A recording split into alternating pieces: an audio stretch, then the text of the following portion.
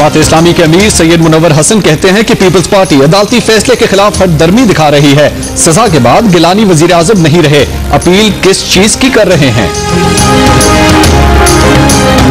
اور اس وقت آپ کو خبر ایجنسی لیے چلیں گے جہاں پر جماعت اسلامی کے امیر سید منور حسن خطاب کر رہے ہیں۔ اہمیت نہیں دے رہی ہے۔ پیپلز پارٹی کا صدر بھی اور اس کا وزیر اعظم بھی کرپشن میں سر سے لے کر پیر تک ڈوبے ہوئے ہیں۔ اپنی کرپشن کو چھپانے کی کوشش کر رہی ہے۔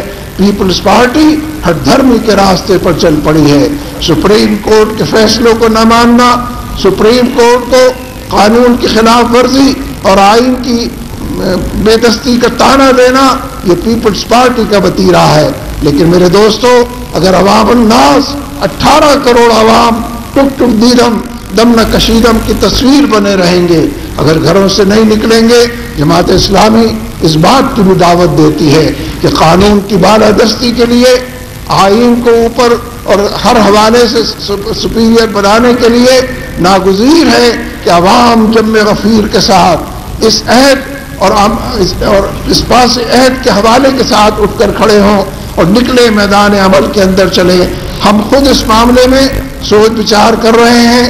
آئندہ چند دنوں کے اندر لایامن لوگوں کے سامنے پیش کریں گے، وہ جو آج کی حزب اختلاف ہے، اس نے اعلان تو کیا تھا کہ گیلانی اگر پارلیمنٹ میں اسمبلی میں آنے کی کوشش کریں گے تو ان کو منہ کی کھانی پڑے گی۔ دیکھیں وہ کیسے آتے ہیں۔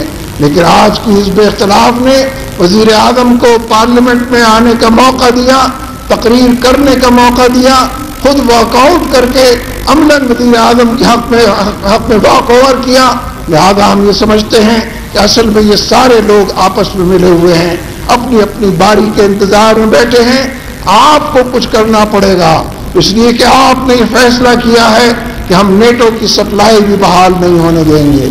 آپ نے یہ فیصلہ کیا ہے کہ ڈرون حملوں کو روکا جائے اور ہمارے فضائیہ کے چیف یہ اعلان کر چکے ہیں کہ ہمارے اندر یہ جماعت اسلامی کے امیر سید منور حسن اس وقت خیبر ایجنسی میں ایک جلسے سے خطاب کر رہے ہیں۔ ان کا اس موقع پر یہ کہنا تھا کہ پاکستان پیپلز پارٹی اپنی کرپشن چھپانے کی مسلسل کوشش کر رہی ہے۔